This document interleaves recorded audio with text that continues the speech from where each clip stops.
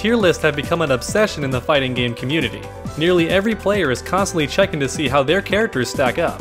But what exactly is a tier list? And what does it mean for your favorite characters? Basically, a tier list ranks how viable each character is in a given fighting game. Stronger characters are referred to as top tier, while the weaker ones are called low tier.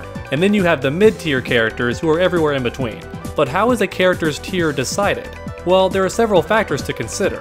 One important factor is usability. Some characters are easy to use and have a straightforward playstyle that makes them easy to master. This can make that character top tier, especially if the game just came out.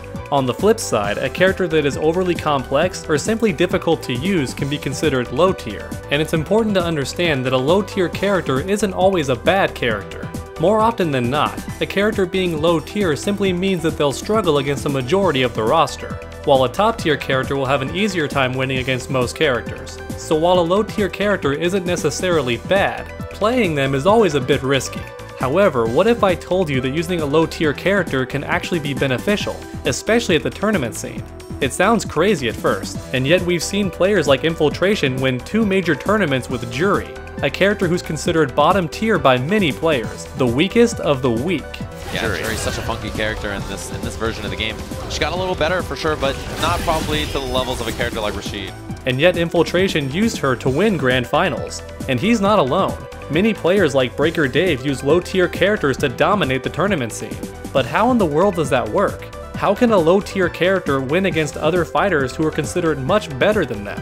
Let's begin by explaining matchup knowledge. How well does your character play against other characters? Every fighter on a roster has good matchups and bad matchups. I think Zangief is a great example. Zangief is a grappler who dominates up close. Therefore, any character without a projectile has a tough time against him, since every attack they use has a chance to be parried, absorbed, or even thrown.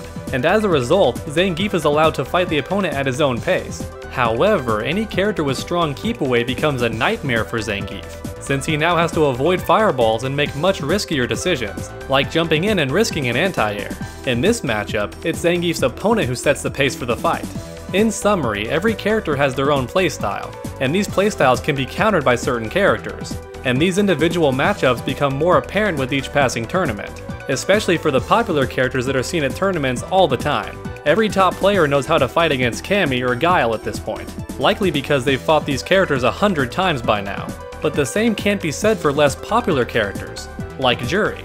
Juri is rarely seen at tournaments, and as a result, many top players aren't aware of how to fight her. They have almost no matchup knowledge to go on, so countering her playstyle is very difficult. It sounds like a paradox, but oddly enough, a low tier character is less known, and therefore less predictable, which actually makes them a wildcard against the opponent.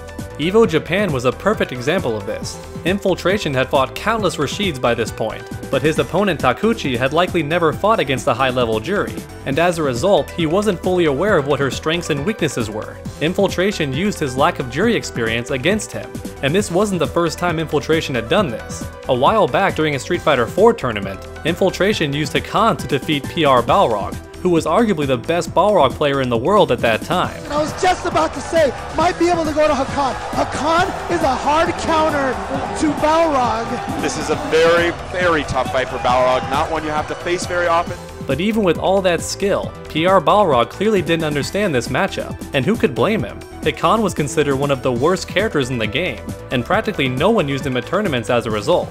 And after an intense battle, Infiltration won the day, proving once again that low tier characters can be a real wild card. After all, how can you defeat something you don't understand? How can you exploit a weakness if you don't know it's there? And lastly, how can you defend yourself from something you haven't prepared for? Many say that mankind's greatest fear is that of the unknown, so the next time you run into a low tier character online, I hope you've studied up. Otherwise, be prepared to expect the unexpected. Thanks so much for watching everyone. If you enjoyed this video, please consider leaving a like down below. It honestly does help my channel out a lot and videos like these take a very long time to make, but you're definitely all worth it. And while you're down there, please post a comment too. Who's your favorite low tier character? And if you haven't already, please subscribe and hit the bell. That way you never miss a future video. Make sure to come back next time, and as always, stay underdogs.